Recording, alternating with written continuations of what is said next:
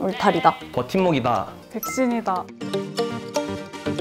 학생인데 예비 예술인으로 보호받을 수 있어서 좋았고 안 좋은 계약서에 사인을 하더라도 나중에 도움받을 수 있다는 걸 알게 돼서 이런 법이 시행되고 있다는 것 자체가 든든한 것 같아요. 학교에 강사분들이 찾아와서 특강을 해주셔서 좋았습니다. 다시 원할 때 찾아볼 수 있다는 점이 가장 좋았습니다.